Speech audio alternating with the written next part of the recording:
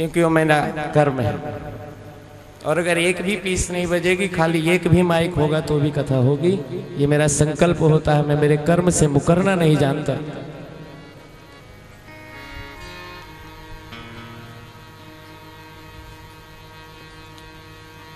ज्ञान यज्ञ करिष्यामि।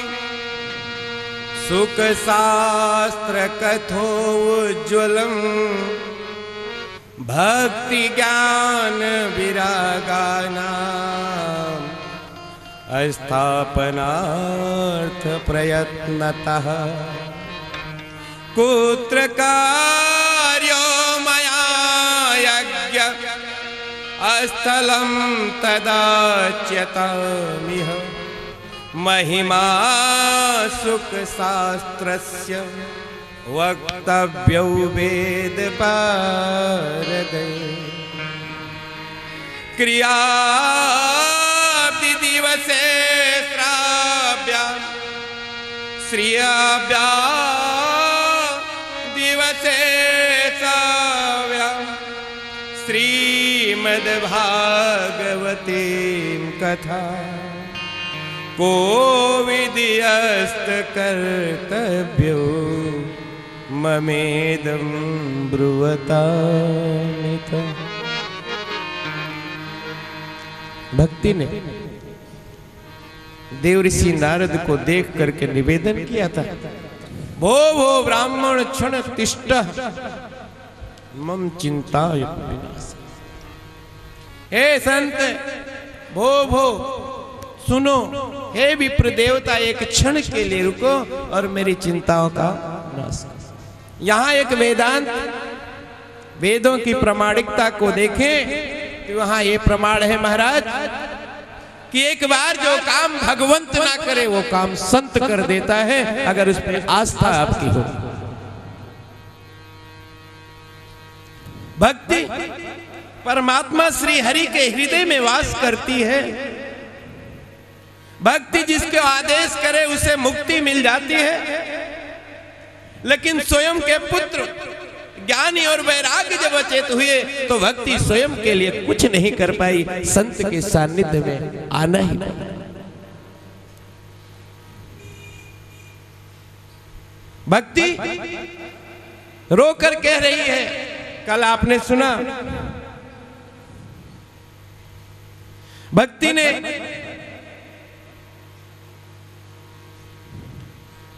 परीक्षित पर उंगलियाँ उठाई। कि अगर परीक्षित ने कली को जगह नहीं दिया होता तो मेरे साथ ये कार्य नहीं देव ऋषि नारद उसे अनेक प्रयत्न कर चुके हैं। गीता सुना चुके हैं, ज्ञान वैराग्य को। गीता, गायत्री सब कुछ सुना चुके हैं, लेकिन उन पे कोई प्रभाव व्योम वाणी। आकाशवाणी होती है। देव ऋषि नारद ने कहा कि ज्ञान यज्ञम करिष्यामि। ये हम ज्ञान यज्ञ करेंगे। अब इस ज्ञान यज्ञ का मार्ग देव ऋषि नारद को भी संतों ने ही दिया। आज के नारद की तुलना उस देव ऋषि नारद से मत करो। क्योंकि अगर देव ऋषि नारद ने सौनक इत्यादि ऋषियों से ज्ञान चर्चा ना की होती तो आज आपको सुनने के लिए सत्यनारायण कथा भी नहीं मिलती। अगर देव ऋषि नारद ने ज्ञानी और वैराग्य के लिए चर्चा ना की होती तो श्रीमद् भागवत का श्रवण भी हम नहीं कर पाते। अगर देव ऋषि नारद ने परमात्मा श्री हरि विष्णु को श्राप नहीं दिया होता तो राम का अवतार नहीं होता। अगर देव ऋषि नारद ने कंस की बुद्धि नहीं भ्रष्ट की होती तो पाप नहीं बढ़ता और कृष्ण का अवतार नहीं हो कभी भी देव ऋषि नारद ने अगर कोई भी कार्य किया है तो जगत के कल्याण के लिए। किया और आज के नारद जो कार्य करते हैं, वह स्व कल्याण के लिए करते हैं। नहीं, आज के नारद की तुलना आप उस नारद से कदापि मत करो। यहाँ बात यज्ञ की आती है। ज्ञान यज्ञम करिष्यामि। द्रव्य यज्ञ, तपो यज्ञ, ज्ञान यज्ञ। ये भेद है। यज्ञ क्या है? यज्ञ यज धातु से निर्मित है। यज्ञ यज धातु से निर्मित है। और यज्ञ करने के लिए प्राण की वेदी, हृदय की संविधा, ज्ञान की अग्नि को जलाकर मनोविकृतियों की जब आहुति दी जाए, तब उस यज्ञ को पूर्ण माना जाता है महाराज। बाकी घी सामग्री जलाने को यज्ञ नहीं कहते।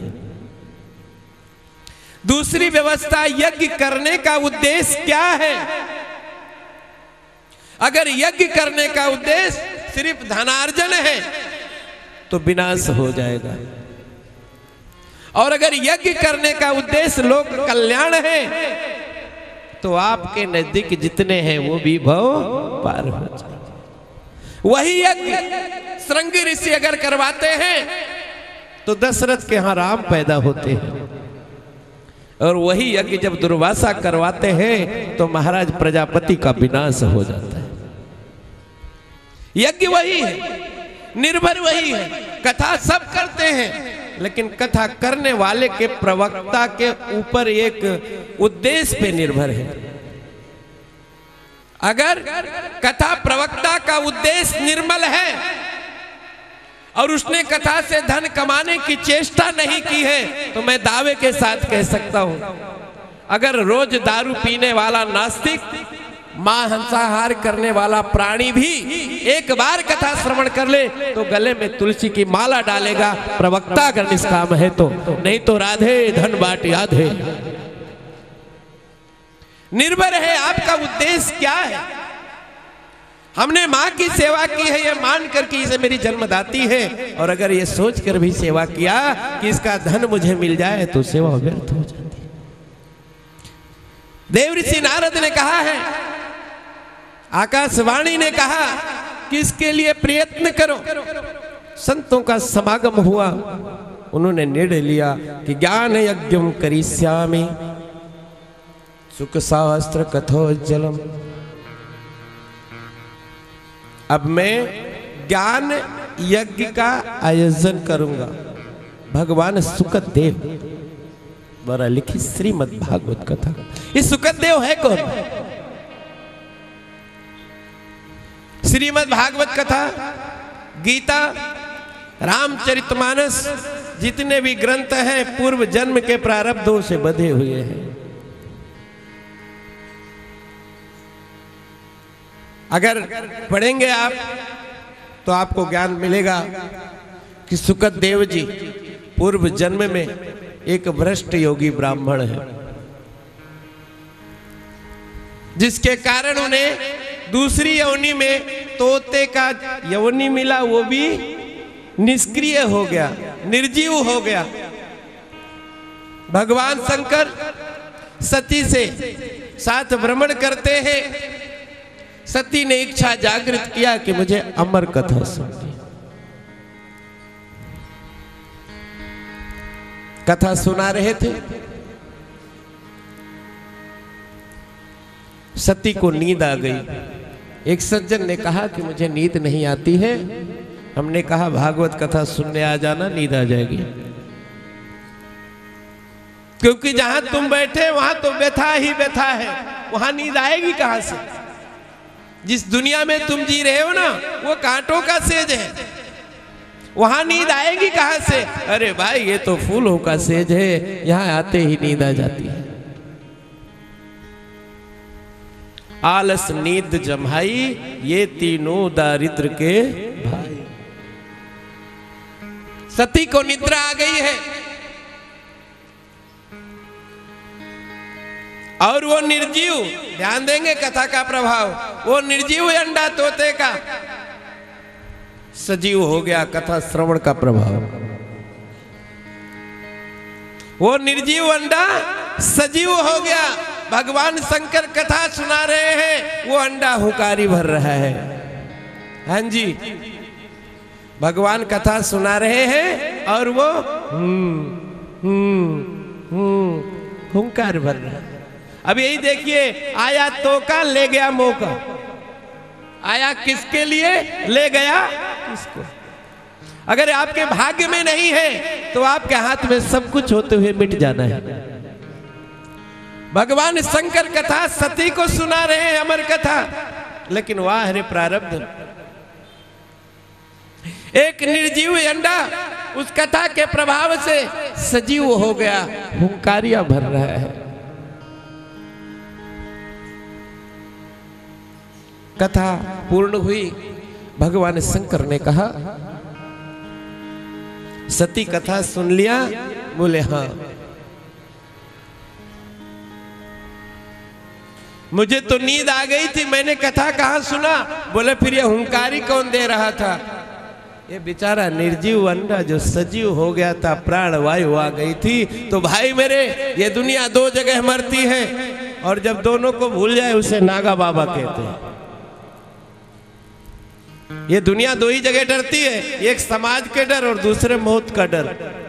और हम नागा बाबा लोग, ये दोनों से बाहर हैं। ना तो समाज का डर, ना मौत का डर। पुनरअपि मरणम पुनरअपि बार बार जन्म लेना बार बार मरण लेना ऐसा।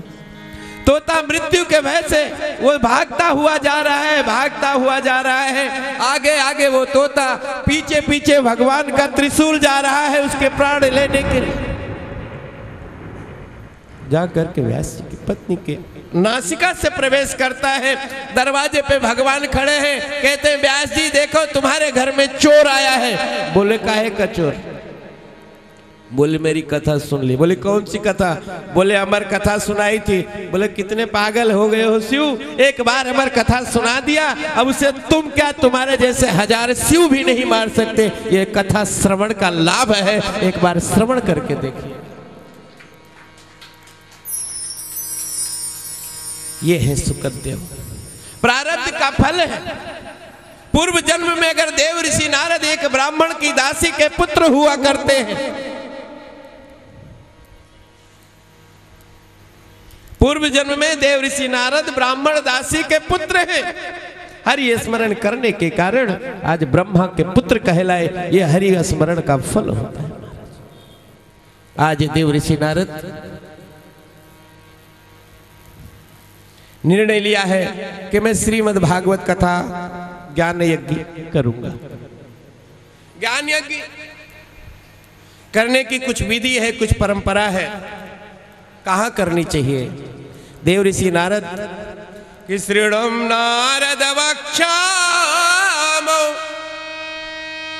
विनम्राय विवेकिन, गंगा द्वार समीपे तु तटम आनंद नामकम। कथा श्रवण कहाँ करें? ये भी पता है। हर जगह कथा नहीं सुनी जाती। क्योंकि हरि की कथा और मानव के गुण संत की कृपा पानी के जैसे होते हैं हवा के जैसे होते हैं। हवा को आपने देखा है? लेकिन यही हवा जब सुगंध के गुलाब के बगीचे में आए तो सुगंध फैला दे और यही हवा, अगर गंदे नाले पे आ जाए तो बदबू फैला दे। माचिस दिया है भाई, चाहे मंदिर की ज्योति जला या गुस्से में आके अपने आप को जला ले, प्रभु की कृपा होती।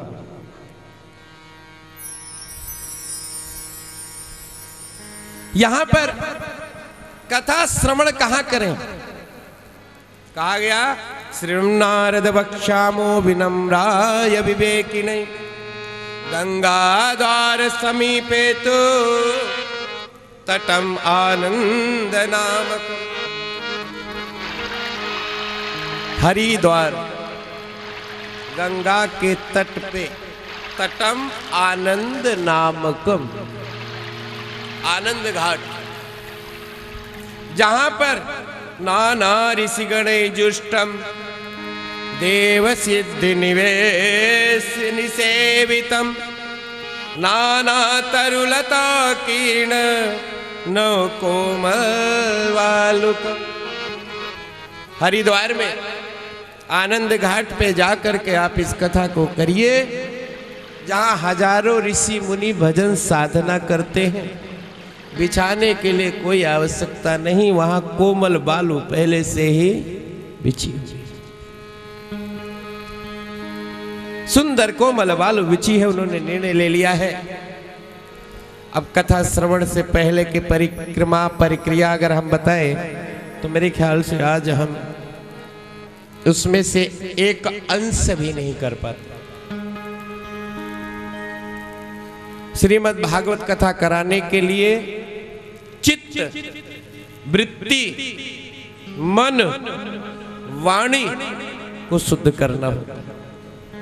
वातावरण को शुद्ध करना होता है, भाव को शुद्ध करना होता है, अनेक प्रक्रियाओं से गुजरना होता है। अगर हमारे मन में भाव है और यहाँ कथा करने बैठे हो और फिर भी याद है कि मुझे पड़ोसी के घर जाना है तो कथा मत सुनो, कोई फ़ायदा नहीं है फिर। एक बार सतगुरु के सानिध्य में आने के बाद अगर मान सम्मान अहंकार गया तो सतगुरु की कृपा मिल गई। बाकी सारी ज़िंदगी झाड़ू मार के पाप कमाते रहे, उससे कोई फ़ायदा नहीं होता। पावन पवित्रीकरण के साथ ज्ञान यज्ञ शुरू होने से पहले संकीर्तन की व्यवस्था होती है।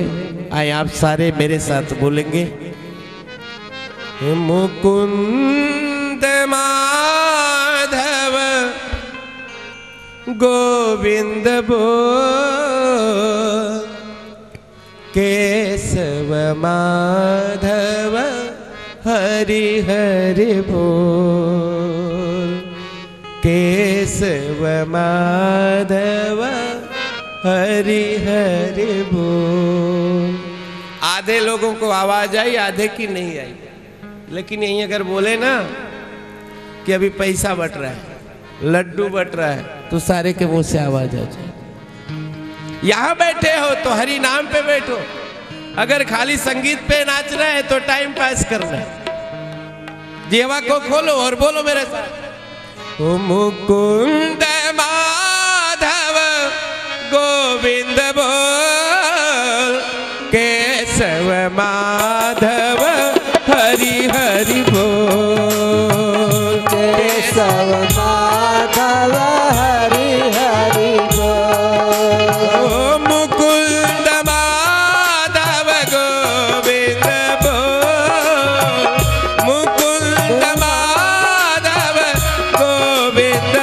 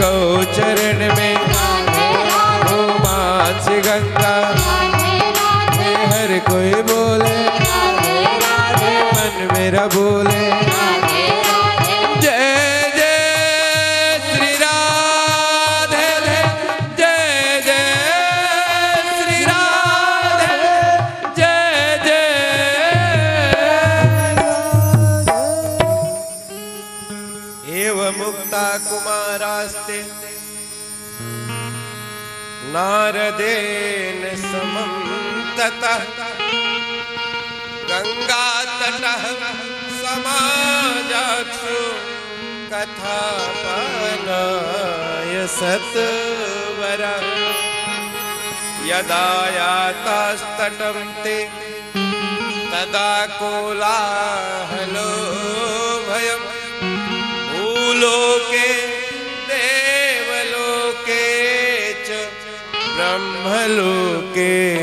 तथैव च एकदा जब देवऋषि नारद ने गंगा के तट पर कथा का आयोजन किया ज्ञान यज्ञ का तो प्रचार प्रसार कहा ये जो व्यवस्था है ज़्यादा से ज़्यादा लोगों के कानों में पहुँचे यही व्यवस्था की जाती है। और कई बार जो इस व्यासपीठ की गरिमा होती कभी कथा शुरू होते ही पाँच मिनट, दस मिनट भजन करते, आरती करते, वो पता है क्यों होता है? ये जितने श्रोता है ना, इसमें सिर्फ़ तीन परसेंट श्रोता होते हैं, बाकी सरौता होते हैं। एक श्रोता जब कल आया तो उसकी जिज्ञासा है कि भी अगली कथा में वहाँ से सुनो। और लोगों की आदत है जब तक कान में आवाज़ नहीं है घर से बाहर नहीं निकलेंगे। उन्हीं में कुछ ऐसे श्रोता है कि वो उस कथा से वंचित ना रह जाए, इसलिए पाँच दस मिनट संकीर्तन किया जाता है। कैसा होता है, एक बार शंकराचार्य जी बैठे हैं, रोज विद्वानों को बैठा के प्रवचन करते थे। उनके आश्रम में एक पोंगा दास रहता था, जिसे कुछ भी नहीं आता था, सिर्फ़ रोटी ठोकने के अलावा। बाकी शंकराचार्य उसके बिना कभी कथा शुरू नहीं करते थे। सारे विद्वान आ गए कि भाई कथा चालू करो, स्वामी जी, कथा चालू करो। जल्दी करो, कथा चालू करो। अबे, अभी भी तुझे जल्दी है हाँ? जन्म दूसरे ने दिया, पालन दूसरे ने करना है, शमशान तक दूसरे ले जाएँगे, अभी भी जल्दी है। वहाँ कितनी जल्दी करेगा जब तेरा कुछ नहीं चलेगा? शंकराचार्य जी ने कहा, भाई, मैं कथा कैसे चालू करूँ? अभी तो मेरा पोंगा दास नहीं गया। बोले, उसे आता क्या है? आप भी स्वामी जी ऐसे लोगों के लिए रुके रहते हो जिन्हें कुछ आता नहीं है। उसे आता क्या है? रोटी बनाना, खाना और सोना? बोले, जो भी है, पर उसके बिना मैं कथा कैसे श्रवण करूँ? कैसे शुभारंभ करूँ? सारे विद्वान आके बैठ गए हैं। शंकराचार्य जी ने कहा, पोंगा दास, आज प्रवचन। शंकराचार्य नहीं करेंगे। आज प्रवचन पोंगा दास करेगा। थोड़ा अटपटा लगा सारे विद्वानों को। जगत गुरु शंकराचार्य कहने लगे कि आज प्रवचन शंकराचार्य नहीं करेंगे, आज पोंगा दास करेंगे।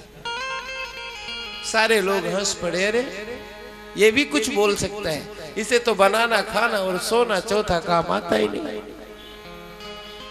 लेकिन गुरु की कृपा बरस जाए ना तो कंकर मोती बन जाता है, गूँगा बोलने लगता है, लंगड़ा चलने लगता है, आस्था होनी चाहिए। और पोंगा दास ने जब स्कंद पुराण से गुरु गीता का वाचन चालू किया तो सारे विद्वानों के होठों तले उंगलियाँ दब गई। ये गुरु की कृपा होती है, इसलिए सुंदर प्रवक्ता, सुंदर श्रोताओं की प्रतीक्षा करते कोई इसी में कथा श्रवण करेगा? घर जाके और कार्य करेगा?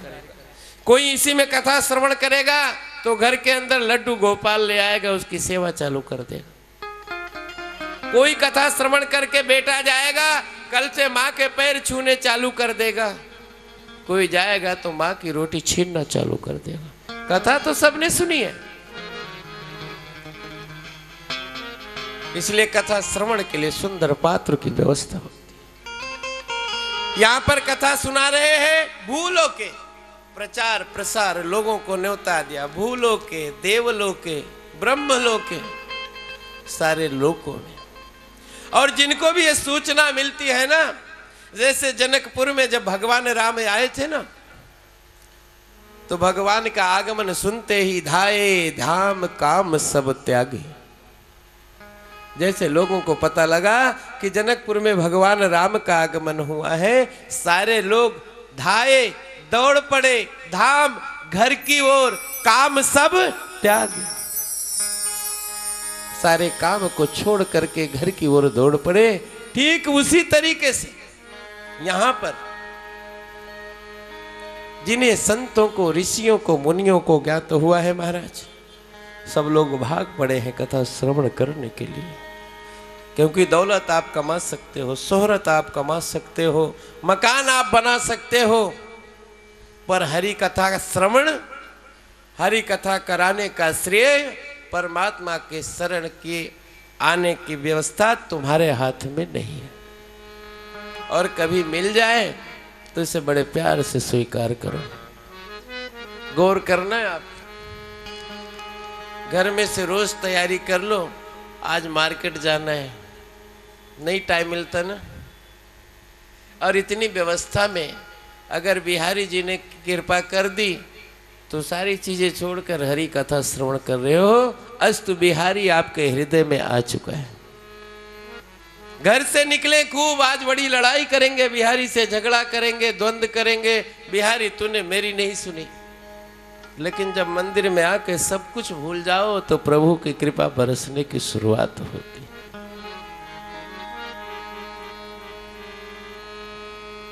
सारे लोग एकत्र हुए हैं।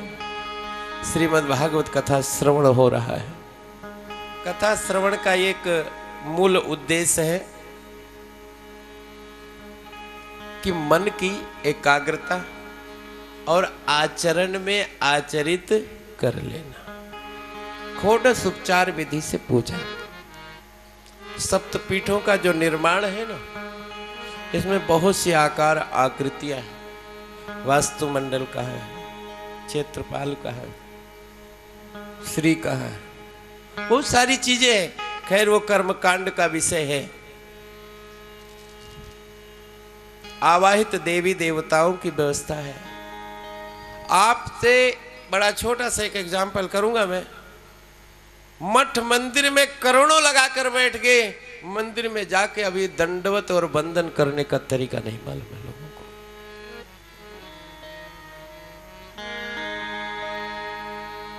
शिखा सूत से वंचित रहे ब्राह्मण। शिखा सूत तो ब्राह्मण का भूषण है मुझसे वंचित हो गए। मंदिर में जाते हैं, मंदिर के अंदर मत्था टेकने में डर लगता है, कहीं मेरे नाक में मिट्टी न लग जाए, कहीं मेरे कपड़े गंदे ना हो जाए। सनातन की रीति का अपमान ही तो है, और क्या है? मंदिर में एक छोटा सा आप लोग पढ़े लिखे, हम ठहरे अंगूठा टेक बाबा।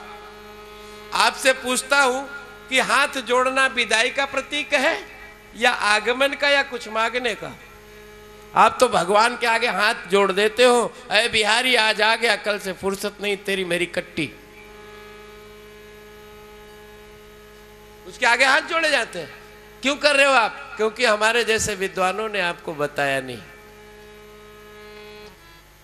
भगवान के सामने जब हम आ जाते हैं तो जैसे सुबह उठो तो इन हाथों को खोलो और बोलो, काग्रे वस्ते लक्ष्मी, कर मध्य सरस्वती, कर मूले च गोविंदा कर प्रभाते दर्शनम प्रभु के सामने यूँ हाथ जोड़े जाते हैं, अंजलि पसारी जाती है, दयालु, तेरे दया की कृपा बरस रही है, तेरी दया बरस रही है, कहीं एक बिंदु रिक्त ना हो जाए चरणामृति लेना है, चरणामृति लेंगे पिएँगे और पोछ देंगे। ये सीखना है हमें। इसी के लिए कथा की जाती है। बाकी कथा रामायण चैनलों के माध्यम से हर लोगों को पता है। रामानंद सागर जी है। आजकल तो व्यवसायीकरण हो गया है। कोई कृष्ण लीला बना रहा है तो कोई करण बना रहा है। पर ये चीज़ें कहाँ है? मैं ये पूछता हूँ। सनातन के रखवालों से। जो बैठ करके बोलते हैं, ये है, जानकारी कहाँ है आपकी? और उसके बिना आप कर रहे हो? तो सारी ज़िंदगी करो, सारी रात नाव चलाओ, रह जाओगे मथुरा में। हमें ये जानना है कि हम किस दिशा में आप गौर करना, आपके सिर में दर्द हो, आप नीम के पेड़ के नीचे बैठ जाओ, आपको आराम मिल जाएगा। बबूल के पेड़ के नीचे बैठ जाओ, बुद्धि भ्रष्ट हो जाएगी। हमारा सनातन त्रिविध है। इसमें ब्रह्म ज्ञान है, अध्यात्म ज्ञान है और भौतिक ज्ञान भी है। लेकिन हम कहाँ स्वीकार कर रहे हैं? हमारी माताओं के मस्तक में सिंदूर लगाते, उसका रीजन क्या है? सिंदूर में मरकरी होता है, पारा होता है। और शादी के बाद उन पे मानसिक, शारीरिक उत्पीड़न बढ़ जाता है, जिसे आप आनंद कहते हो। और ये तलवा है, ब्रह्मरंध्र है, इस पे लगाने से उन्हें मानसिक शांति होती है। हम कहाँ लगाते हैं? हम तो मारकर लगाते आए हैं। सत्यानाश धर्म का कर रहे पृथिव्यम तो धृता लोका देवी तो विष्णा धृता तुम चाधारा धाराय माँ देवी पावित्रम कुरुआसनम हम कार्यक्रम करते हैं, ध्यान देंगे आप लोग। हमारे तो पहले संकर न्यास करवाते हैं। न्यास, वांग में आयस्तु। दोनों होठों पे लगाया, क्यों? ये अधर है और ये लज्जा है। एक दूसरे के बिना कहानी अधूरी है। मतलब जब हम कथा श्रवण करें, भगवान की स्तुति करें तो होठ कम चले।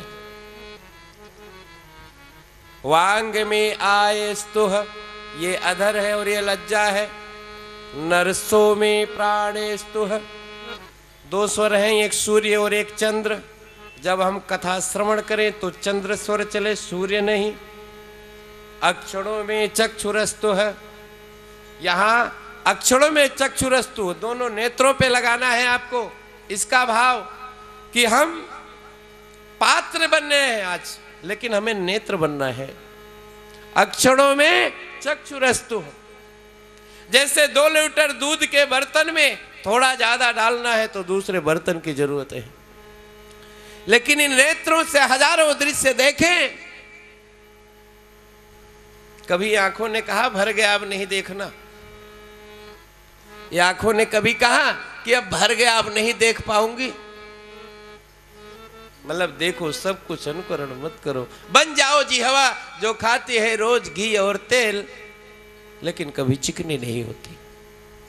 अक्षरों में चक्षुरस्तु कर्णों में स्रोत स्रोतमस्तु बाहों में उर्यमस्तु सर्वारिष्टान में अंगानि तनुस्तु संति भवतु।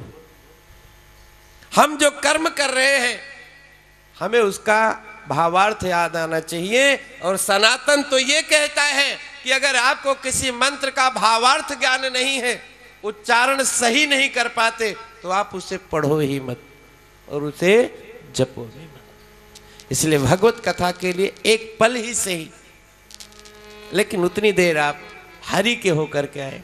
यहाँ सब लोग आज मिल करके हरि कथा का श्रवण कर रहे हैं और आभार प्रकट कर रहे हैं। धन्य है प्रभु, धन्य है प्रभु, जो आपने इस सुंदर योग को गढ़ा। ये जीवात्मा परमात्मा से कहती हैं।